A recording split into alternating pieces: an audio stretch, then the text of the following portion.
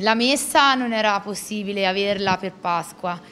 le benedizioni uguale, essendo in un paese piccolo che comunque le tradizioni si rispettano e specialmente qui abbiamo una grandissima popolazione di persone anziane,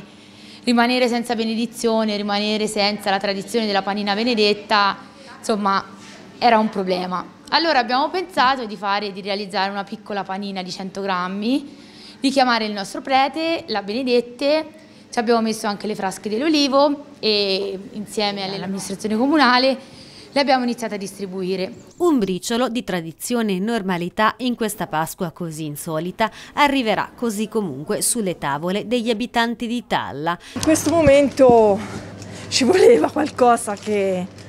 ci rallegrasse un pochino, insomma. 560 le panine che sono state prodotte da un esercizio commerciale del piccolo paese del Casentino e che sono state poi benedette dal parroco Don Michelangelo. Si tratta di appunto un simbolo, una piccola panina che le famiglie possono condividere durante il pranzo di Pasqua con eh, i cibi tradizionali, le uova, il salame, eccetera, tutto quello che è la colazione e il pranzo di Pasqua ecco, semplicemente per poter condividere un piccolo simbolo di normalità e ringraziamo anche il nostro Don Michelangelo che eh, gentilmente ha benedetto tutte queste numerose panine per tutti i nostri nuclei familiari. Le panine infine sono state distribuite in tutti gli esercizi commerciali del comune rimasti aperti per dare così la possibilità a tutte le famiglie di poterne prendere una per poterla gustare come tradizione vuole la mattina di Pasqua.